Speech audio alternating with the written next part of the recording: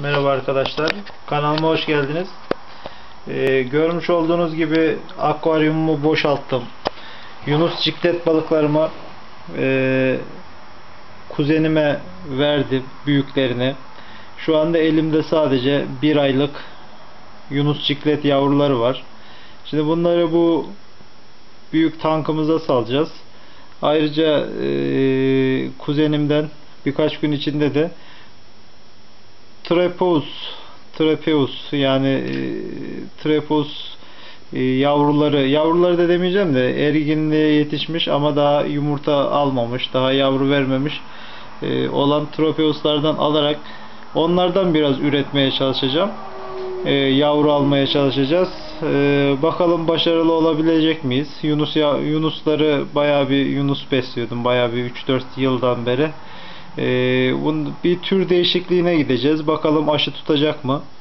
Eğer becerebilirsek trapeusların da yavrulamasına, yavrularına, bakımını bunlarla ilgili tekrardan videolar çekeceğiz. Şimdi e, elimde Yunus ciklet yavruları var. Görmüş olduğunuz gibi. Yaklaşık bir aylık e, Yunus ciklet yavruları bir 30-40 tane var. 30-40 civarında var. Şimdi bunları büyük tanka atacağız.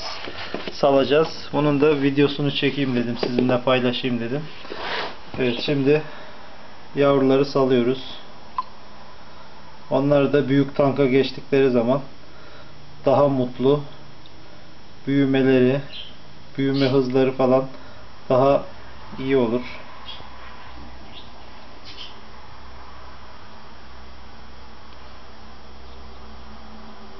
Evet yavrular inmek istemiyorlar şu anda.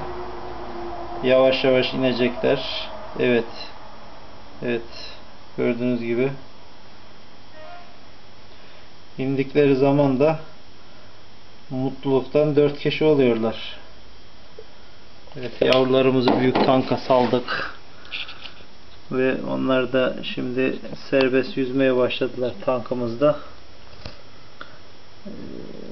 burada serbest bir şekilde büyüyecekler.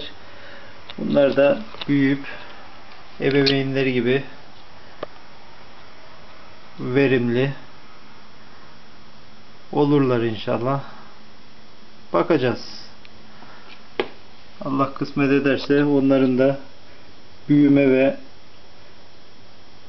üreme çekimlerini yapacağız buradan. Sizinle paylaşırız. Herkese iyi akşamlar.